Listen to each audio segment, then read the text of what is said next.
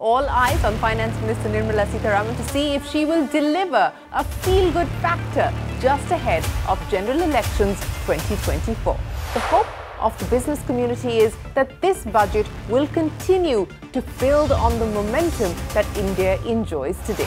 Share your budget wish list, suggestions and hopes for Finance Minister Nirmala Sitharaman on your budget ballot. We will make sure that the CNBC TV 18 budget ballot box gets your wish list to the Finance Minister. The Budget Ballot.